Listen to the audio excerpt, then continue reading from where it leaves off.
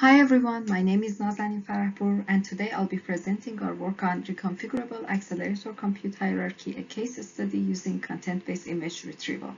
This is a joint work between University of California, Los Angeles and Simon Fraser University. FPGAs in data centers are commonly used to accelerate a broad class of compute-intensive applications. But when it comes to communication-bound applications, their benefits are hindered by the efficiency of the data movement in the I.O. stack.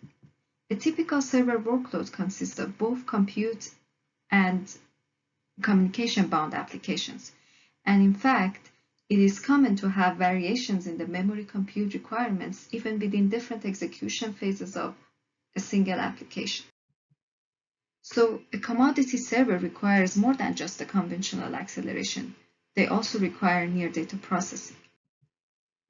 So in this work, we present ReACH, a reconfigurable accelerator compute hierarchy that combines on-chip, near-memory, and near-storage accelerators and offers a broad spectrum of acceleration options.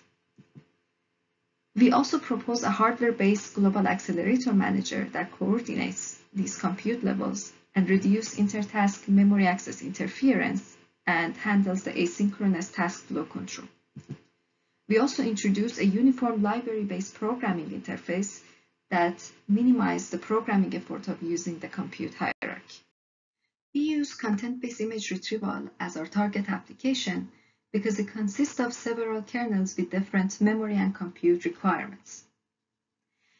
The three main steps of the CBIR are feature extraction, which uses convolutional neural network, shortlist retrieval that uses matrix-matrix multiplication, and we rank a step that uses KNN with partial sorting.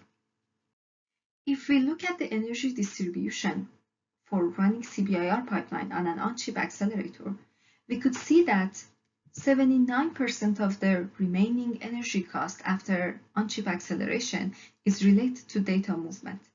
So a proper mapping could actually eliminate uh, a significant portion of this data movement.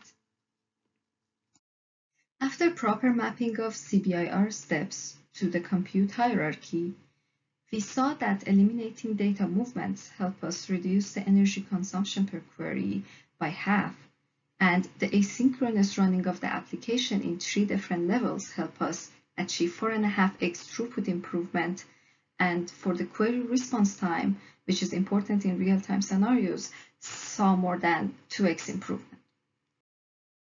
So thank you so much for listening and I'm looking forward to hearing your questions. Thanks.